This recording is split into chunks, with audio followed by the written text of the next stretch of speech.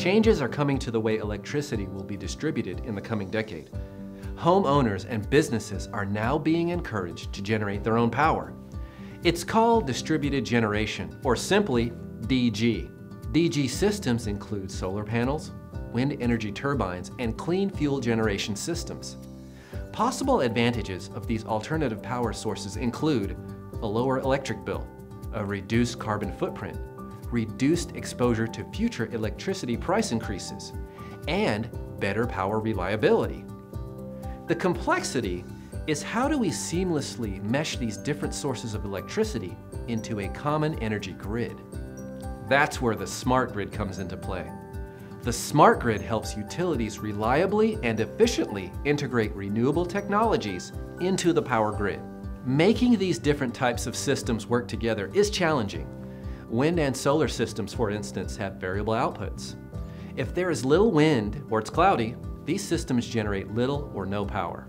When this happens, the smart grid can bring stored energy online, or the power utility can be notified to increase output.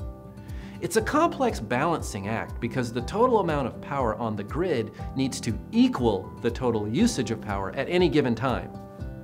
The smart grid keeps the two sides of this equation in balance. This prevents outages or oversupply. Generating your own alternative energy has financial advantages. In most states, the power company will actually pay you for any excess energy you don't need for your home or business. But you can't do this alone because you still need the power grid. If the sun's not shining on your solar panel, you will need to access the grid. If you generate excess electricity and want to get reimbursed by your utility, you will need to add your excess electricity to the power grid. Many utilities and communities are choosing to install solar arrays where the power can be shared by multiple households. These solar power plants are giving virtually anyone the option to go solar without installing solar panels on your roof or property. So to determine if you're a good candidate for DG, what must you consider? First, determine if you are a good candidate for solar panels through a quick housing checklist.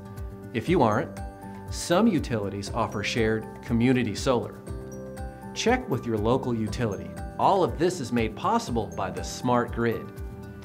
Think of it as the musical conductor that makes sure all the instruments play in harmony. Distributed generation is here to stay, and as energy consumers, we will all benefit from this decentralized and clean energy source of electrical power.